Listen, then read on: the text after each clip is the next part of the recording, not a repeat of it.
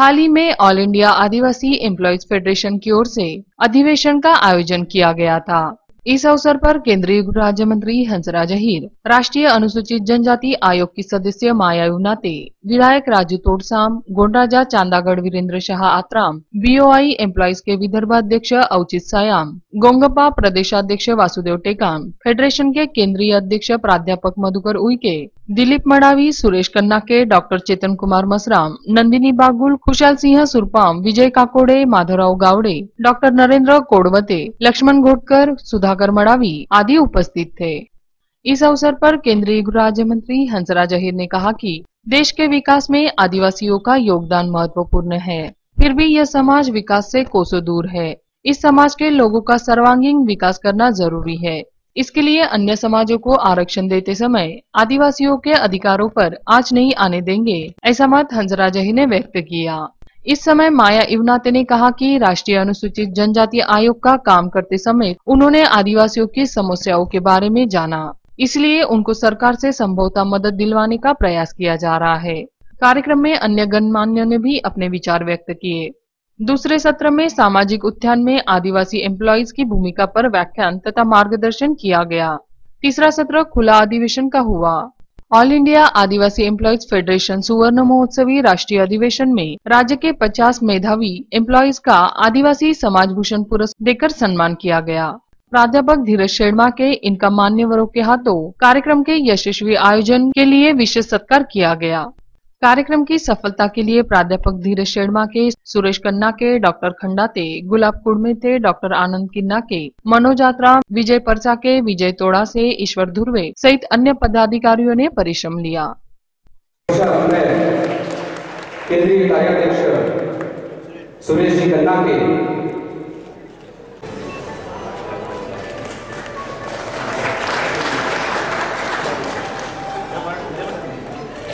이렇게 보시면 네.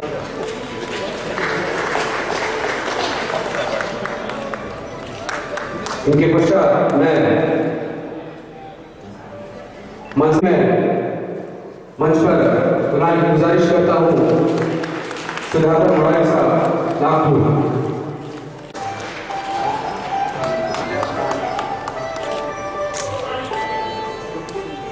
इसके पश्चात मैं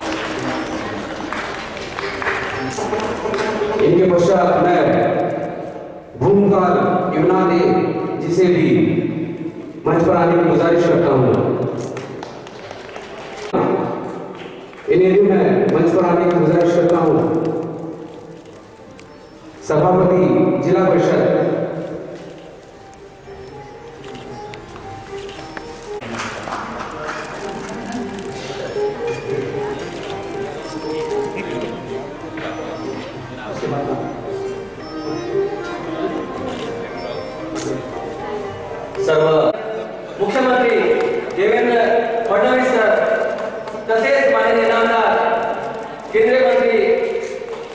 नितीनजी गडकरी सर यांच्या बैठकीला उपस्थित राहायचं आहे. मी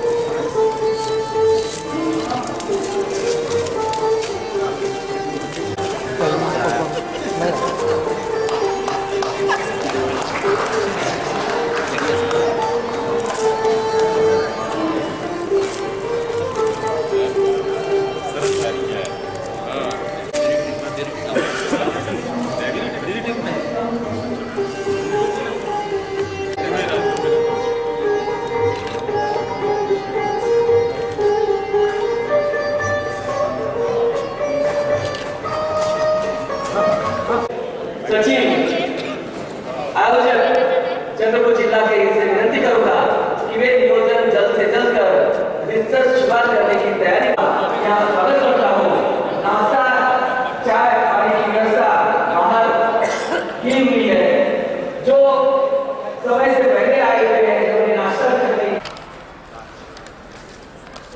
सर्वप्रथम सर्वांना जयसेवा करतो. गोडवाना नगरीमध्ये तुमचं पहिल्यांदा मनपूर्वक असं स्वागत करतो.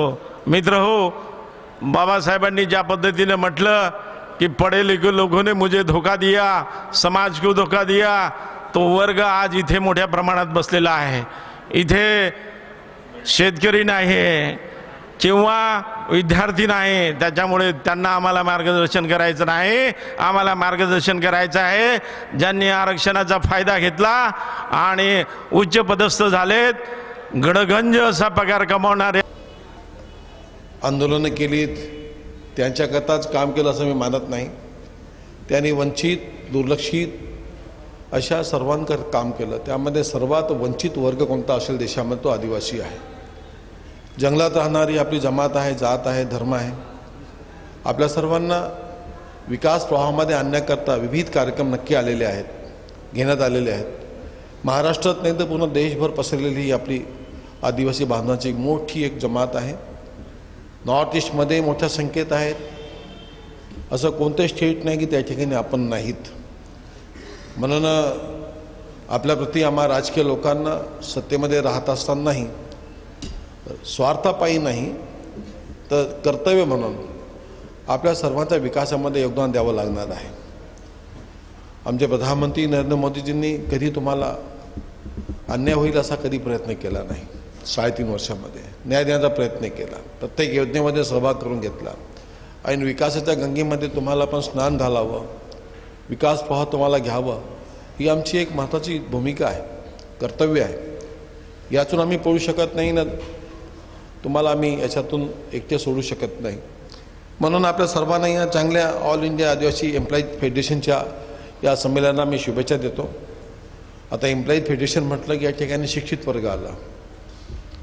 काही रिटायर बांधवांचा मी सन्मान केला काही समाजातील चांगले काम करणाऱ्यांचा सन्मान केला. पूजन करताना मी बघितलं फार चांगल्या भाषेमध्ये गोंडी भाषेत कदाचित असेल. ती लिपी पण पाहत होतो मी. ज्याचा मी कधी शोध घेत होतो की इथं गोंडी लिपी आहे की नाही ती पण आहे. त्या लिपीला पण न्याय दिला पाहिजे. ही एक मोठी जिम्मेदारी आमची आहे. अनेक बाबी आहेत. मी बोलता बोलता ऐकलं की या ठिकाणी शहीद बाबूराव शेडमाके आदिवासीमध्ये जे शूरवीर होते योद्धा म्हणून श्याम कोलाम अशा त्यांची नाव बिरसा मुंडासारखे अजूनही दोन चार नावं आपण घेतली. मी एक पाहिलं इतिहास अनेकांनी स्वातंत्र्य लढ्यामध्ये योगदान दिलेलं आहे आदिवासी बांधवांचं. मी विनंती केली आपल्या सगळ्या संस्थेच्या लोकांना अशी काही पुस्तकं आमच्या माझ्यापाशी पण आहेत प्रकाशित आहेत. की आदिवासी बांधव जे शूरवीर होते शहीद झालेले आहेत योद्धा म्हणून त्यांनी स्वातंत्र्य लढ्यामध्ये योगदान दिलेलं आहे ह्याची लंक खूप मोठी संख्या आहे. याला पण कधी भविष्यामध्ये आपण न्याय देण्याचा प्रयत्न करा. मी तुमच्यासोबत आहे. कारण हे अनुकरणीय असतं जीवन. लोकांना माहीत नाही की आदिवासी बांधवांनी देशाच्या स्वातंत्र्य लढ्यामध्ये किती योगदान दिलेलं आहे. आणि ब्रिटिशांना कसं त्रास देऊन सोडला होता आपल्या लोकांनी जंगलात राहून. हे इतिहासाची स्वर्णिम पानं आहेत. याला पण आपण झाकून पहा. मी माझ्यासारखा एक व्यक्ती. आता राजकारणामध्ये आम्ही बोलत नाही राजकीय भाषा नाही माझी. हे देशातील युवकांना अनुकरणीय आहे. मार्गदर्शक आहे जीवन आदिवासींचं. जेही असेल मी आज आपल्यामध्ये एवढं सांगतो की आम्ही आपल्या समाजाबद्दल आदिवासींबद्दल खूप आदर ठेवतो. आणि आपल्याशिवाय देशाचा विकास करणं म्हणजे असंभव आहे आणि योग्य होणार नाही. म्हणून आपल्या सर्वांना मी मनापासून शुभेच्छा देईन. कर्मचारी बांधव अधिकारी बांधव या ठिकाणी आहेत. आपण शिक्षित आहात. जे काही सरकारी योजना आहेत त्याचा लाभ देण्याकरता त्याचं चिंतन आपण हो- करणार आहात त्याची मला जाणीव आहे. त्याचं चिंतन करा. बेरोजगारी संपवण्याकरता आपण समोर या. आणि त्याच्याकरता सरकार मी या भागातला खासदार म्हणून आज केंद्रातला मंत्री म्हणूनही आपल्या प्रत्येक पावलावर पाऊल टाकून मी मदत करायला तयार आहे. आम्ही तुम्हाला वंचित ठेवू शकत नाही. युवकांना समोर आणा युवतींना समोर आणा. मी तुम्हाला बौद्धिक देत नाही शिक्षणाबद्दल. तुम्ही शिक्षित आहात. पी एच डी केलेली मंडळी या ठिकाणी बसून आहे. मी सन्मान केला आपला.